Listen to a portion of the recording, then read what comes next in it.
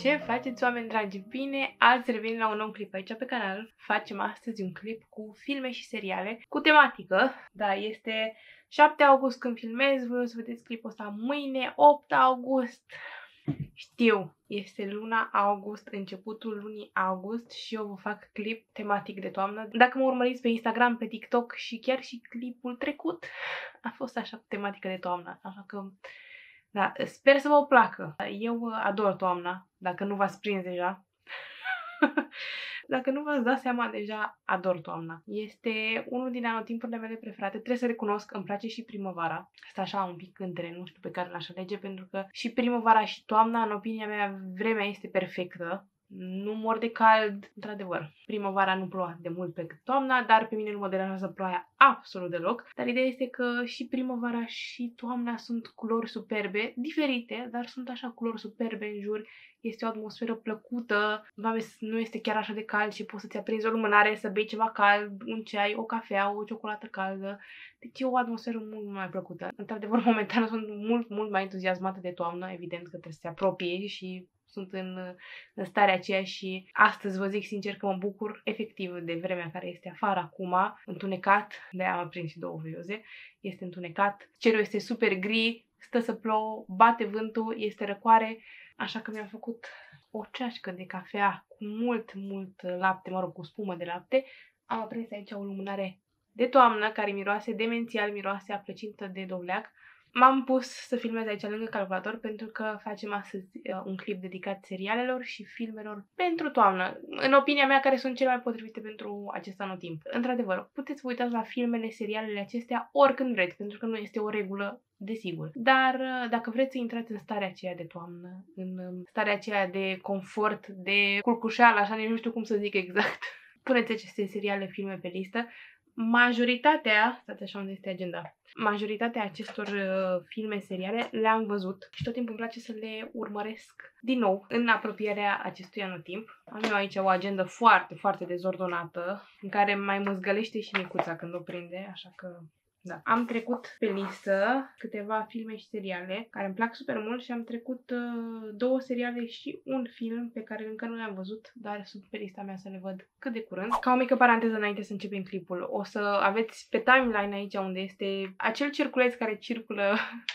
pe parcursul clipului. O să aveți selectate minutele exacte în care vorbesc despre un anumit serial, despre un anumit film, ca să puteți alegeți voi dacă nu vreți să ascultați despre unul anume, puteți să dați skip. Bun, nu ne mai lungim, pentru că eu am editat acest clip în seara aceasta. Trebuie să iau și micuța de la grădiniță cât de curând, deci sunt așa un pic pe fugă, dar uh, sper să iasă ceva de răuț și sper să vă placă. Apropo, pe Instagram și pe TikTok deja am pus o listă, o poză, o să las poza aici, am pus această poză pe Instagram și pe TikTok, puteți să-i dați uh, download, cel puțin pe TikTok mi se pare că puteți să o salvați. Am pus aceste seriale, filme pe această listă și am lăsat locuri libere în caz că vreți să vă puneți și voi serialele voastre, filmele voastre pe listă să le aveți acolo. Da, bate vântul și este curent. S-au trântit ușile. Minunat. Primul serial pe care l-am pe listă este acesta, N with an E. Este un serial uh, făcut după o serie de cărți. Seria se numește N of Green Gables. Nu am uh, citit-o, trebuie să recunosc, dar vreau Vreau tare mult să ajung la această serie. Este o serie de copii, din câte am înțeles, dar o serie foarte, foarte frumoasă. Având în vedere că mi-a plăcut atât de mult serialul, cred că și cărțile o să-mi placă. Este un serial despre o fată orfană care a tot fost prin mai multe case, nu prea o accepta nimeni pentru că era o fată sfrijită, așa, slăbuță, nu prea în putere. De regulă, familiile căutau un copil să adopte ca să-i ajute cu treburile casei. Așa avem și familia care vrea să o adopte. De fapt, ei voiau să adopte un băiat, zdravăn, ca să-i ajute cu treburile casei. Familia lor fiind formată dintr-un frate și o soră destul de în vârstă și aveau nevoie de ajutor acolo, în gospodărie. Cei la care se duc să adopte le trimit o fată. O iau cu ei acasă, că nu aveau ce să facă la ora aceea, o iau cu ei acasă și săraca era atât de entuziasmată, deci trebuie să vă anunț de pe acum. Acest serial o să vă facă să plângeți în continuu și de fericire și de tristețe. O să treceți prin toate sentimentele posibile, dar și de bucurie. O să aveți așa și o bucurie și o, un sentiment așa de confort foarte, foarte plăcut. Ce, ce poate să dea acest serial, nici nu aveți idee. Mi-a plăcut la nebunie. A, da, să continuăm, că mă dau dintr-una într-alta. o iau pe fetița acasă și zic că a doua zi mă duc, gata, să o duc înapoi și să luăm un băiețel. Ea s-a vă dați seama că este extrem de tristă, dezamăgită și așa mai departe, dar face cum face să îi cucerească pe cei doi și să rămână la ei în familie și vedem viața ei cu toate aventurile ce ies în, în cale, prin toate aventurile prin care trece, cum își face prieteni, cum este la școală, prin ce nebunii se mai bagă. Este un serial foarte, foarte plăcut, care, sinceră să fiu, îmi inspiră toamnă. Îmi inspiră sentimentul acela de confort, de plăcut, de bucurie. Îți vine efectiv să te culcușești cu o pătură, cu o ceașcă de ceai, cafea, ce vreți voi cald și să stați să-l urmăriți la lumina unei lumânări. Deci este ceva de vis acest serial, dar v-am zis, trebuie să vă așteptați că o să plângeți mult. Și de fericire și de tristețe, după cum am zis. Îmi pare rău că nu au terminat acest serial. S-a oprit pe la sezonul, stați așa că vă zic acum, trei sezoane are. Da, trei sezoane, a câte șapte episoade pe sezon. Primul sezon are șapte episoade, sezonul 2 10 și sezonul 3 tot 10. Treceți relativ repede prin el, neavând atât de multe episoade, vă garantez că dacă nu l-ați văzut, o să vă prindă fără doar și poate, nu știu, nu am întâlnit momentan persoană care să-mi zică că nu mi-a plăcut. Este ceva, mi se pare, pentru toate gusturile, pentru toate vârstele, poate să uite și persoane mai tinere, pentru că ai ce învăța, având în vedere că este făcut după o carte de copii, poate să uite și copii, evident. Este un serial super, super frumos pe care vi-l recomand cu tot dragul. Pauză de cafea. O să fac această mică mențiune pentru că deja s-a vorbit pe tot internetul de acest serial când a apărut. Dar trebuie să-l menționez. Efectiv trebuie să-l menționez. O să vedeți că și la... Am un fir de păr care mă scoate din minți și nu vrea să stea locului. S-a vorbit oricum pe tot internetul. Trebuie să fac această mică mențiune. Serialul Wednesday este un serial nou care încă este în producție. Deja a apărut un sezon și urmează să apară al doilea sezon, dar sunt probleme pentru că acest uh, serial a fost filmat în România, dar aparent producătorilor li s-a tras mare țeapă în România, din câte am înțeles. Nu știu, sigur. Astea sunt știri pe care le-am auzit. Îmi pare rău să aud lucrurile astea pentru că am avut ocazia cu acest serial să văd o groază de lucruri frumoase din România, să fie promovată și țara noastră. Da, nu știu exact ce s-a întâmplat. Ideea este următoarea. Avem Wednesday, Wednesday Adams, este un serial făcut după acest personaj clasic. O avem pe această actriță, Gina Ortega, mi se pare atât de mișto această actriță și atât de expresivă, foarte potrivită pentru acest rol. Deci care o avem pe fata din familia Adams care se duce la o școală, la o școală unde se duceau persoanele mai speciale, nu numai persoane cu puteri supranaturale, dar persoanele mai speciale din familiile astea mai speciale. O vedem pe Wednesday care vrea să plece de la această școală, este total oripilată că trebuie să facă parte din această comunitate, dar pe parcursul acestui serial o vedem cum, evident, trece prin tot felul de aventuri, tot felul de drame și cum totuși o vedem că se integrează.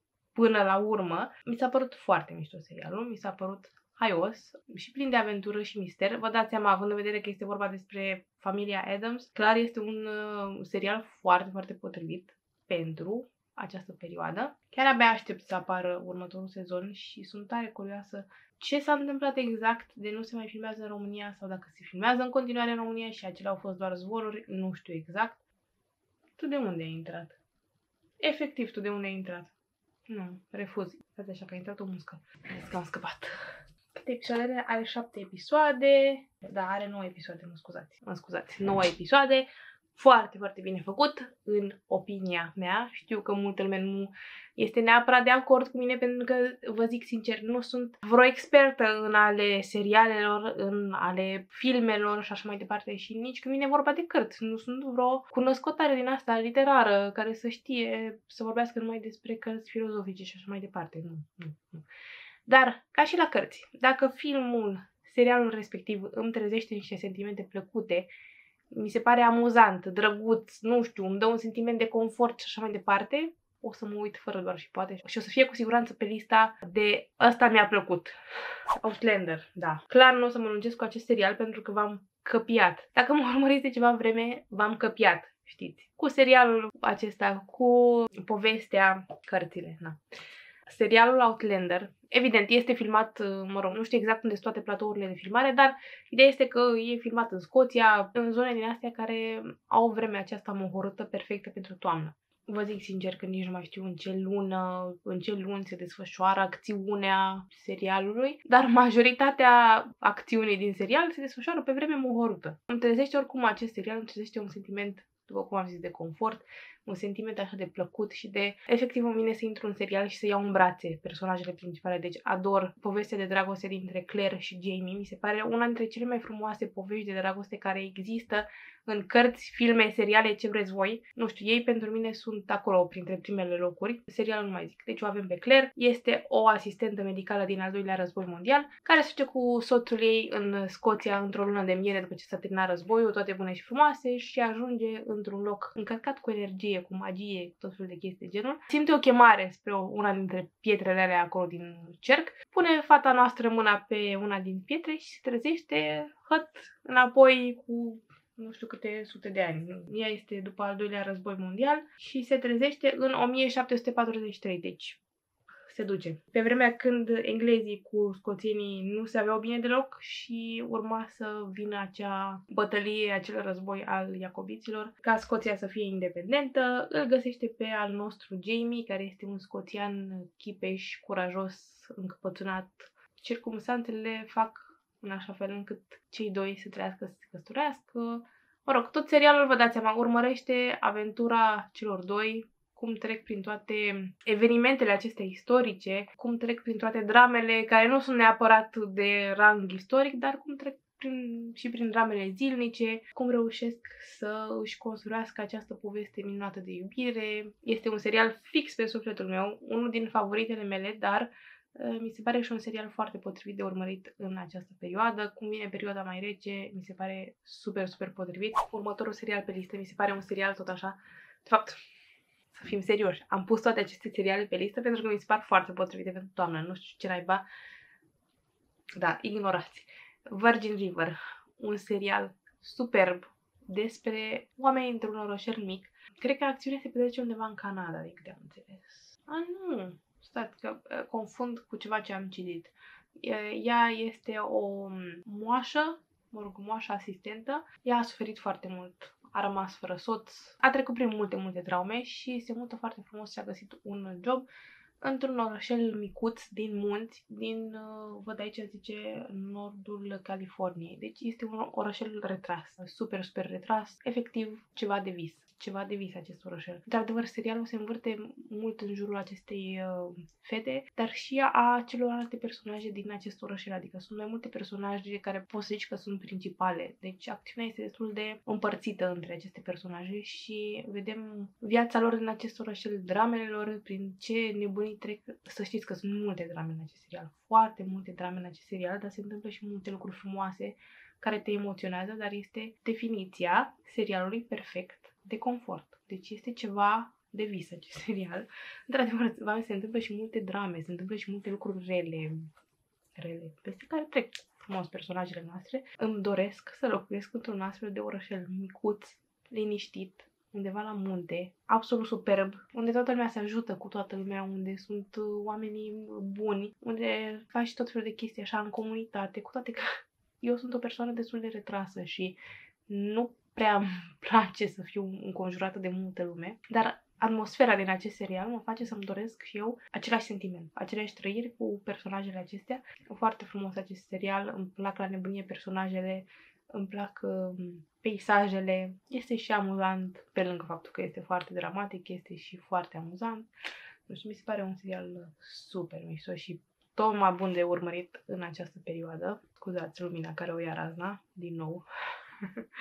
Și tot în același ton avem serialul Good Witch, o mică paranteză, dacă vreți seriale, filme cu sentiment din acesta foarte plăcut de toamnă, seriale destul de previzibile, filme destul de previzibile, care au final fericit. Cei de la Hallmark fac astfel de filme și seriale. Am urmărit de-a lungul timpului destul de multe filme de la ei și mi-au plăcut super mult pentru că sunt super previzibile, au final fericit, dar dau acel sentiment plăcut de liniște. Și serialul Good Witch este făcut de cei de la Hallmark foarte mișto foarte mișto. Eu avem pe ea care niciodată nu confirmă că este vrăjitoare, dar face în așa fel încât toate să iasă cum trebuie. Pare să fie o vrăjitoare bună. Tot așa, într-un orășel mic, toată lumea se cunoaște cu toată lumea. Avem mai multe personaje care gravitează în jurul acțiunii, ca zic așa. Dacă aveți o stare proastă și vreți să vă uitați la ceva care să vă liniștească, care să vă dea o stare foarte bună de confort, să nu vă trezească niște sentimente de astea de anxietate, de tristețe și așa mai departe, serialul Good Witch mi se pare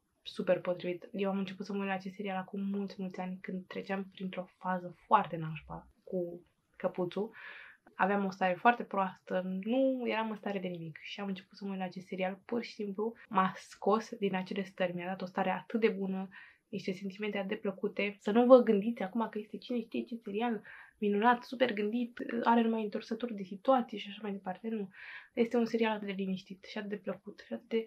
Deci mi-e drag, mi-e drag de acest serial și de multe ori mi vine să mă uit din nou la el, dar am lista atât de lungă de seriale, de cărți, de citit, de filme și așa mai departe, cât nu apuc de multe ori să le revăd așa cum mi-aș dori. Dar clar, serialul acesta este de trecut pe listă neapărat. Și ultimul serial pe care l-am văzut și vi-l recomand este un serial așa dramatic, puțin cu o mică, mică doză de horror, dar trebuie să aveți în vedere, eu nu urmăresc seriale horror, nu-mi plac, nu vreau, nu mă interesează.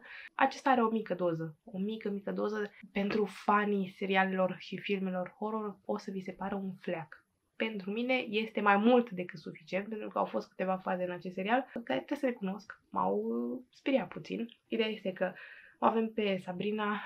Știți că este și un serial mai vechi care e tot despre Sabrina, Teenage Witch sau ceva în genul. Este vrăjitoarea adolescentă Sabrina. Asta este o adaptare a acestei povești, a acestor personaje dar o adaptare mai, în primul rând, mai modernă. O avem pe Sabrina, care este această vrăjitoare. Face parte din acest cult, așa, care toți sunt vrăjitori. Este destul de creepy înfricoșător, dar totuși este și amuzant și dramatic în același timp. Pe urmă este un serial despre adolescenți în mare parte, dar și cu această mică doză de horror, mister înfricoșător. Mi se pare foarte mișto făcut chiar foarte mișto făcut. Vă zice o persoană care este foarte fricoasă și nu prea place să se uite la astfel de filme, seriale sub nicio formă. Nu mai zic de cărți, nu vreau să citesc așa ceva pentru că mă sperie. Dar acesta mi se pare super potrivit. Mi-a plăcut toată povestea serialului, toată acțiunea care se întâmplă în aceste sezoane. De sezoane are două sau trei? O, patru.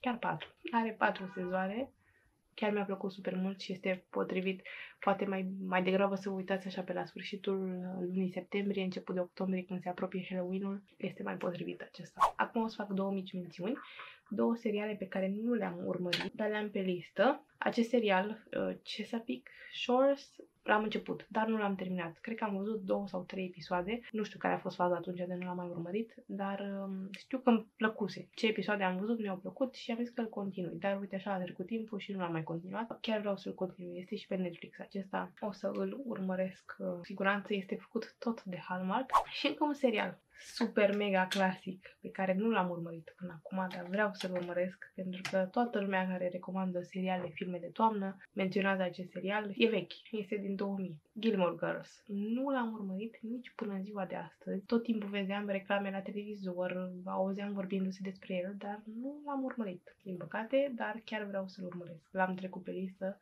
aș vrea să urmăresc în această toamnă. Bun, și acum hai să facem câteva mici mențiuni la filme, clar, nu se poate. Adams Family și aici mă refer la filme, cu toate că când eram mică mă uitam la desenul Adams Family și apoi a fost pe, mi se pare că atunci era Jetix. A fost un serial cu Adams Family. Vreau să vă menționez și să vă recomand dacă nu le-ați văzut. Adams Family din 1991 și partea a doua a acestui uh, film este Adams Family Values, mi se pare că se cheamă.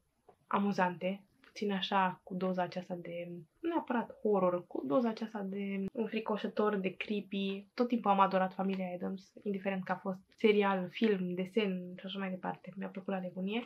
De multe ori când am acest chef să mă uit la ceva creepy, să mă uit la ceva așa totuși și amuzant, dar și puțin înfricoșător și dramatic, aleg aceste două filme. Cap tot pe acolo avem Hocus Pocus și sunt două filme din câte am văzut. Am văzut primul, clasicul Hocus Pocus cu cele trei vrăjitoare, în care joacă și Sarah Jessica Parker. Este un film clasic pentru mine de văzut în perioada aceasta de toamnă. Este un film clasic, cum este și Adam's Family. Pentru mine acesta este un film așa de suflet. Îl mai avem pe Hocus Pocus 2, care a apărut în 2022. Și nu l-am văzut până acum, nu știu ce se întâmplă. Clar o să-l văd zilele acestea, vreau neapărat să îl urmăresc. Și din câte am înțeles, o să scoată și partea a treia. Apoi, un film, din nou, clasic. Efectiv l-am văzut când, când eram micuță prima oară și apoi l-am tot revăzut pentru că îl deau pe ProTV destul de des. Este Matilda. Este unul dintre filmele cu care am crescut. Apărea atât de des, vai de capul meu și când vedeam, o vedeam pe Matilda care are acele puteri și putea să ridice